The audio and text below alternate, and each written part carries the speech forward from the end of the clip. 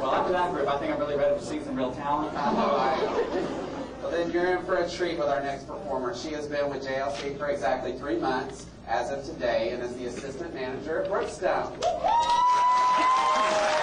she's performing the song and I'm by Jennifer Holliday. Everyone please welcome Donnis Calhoun.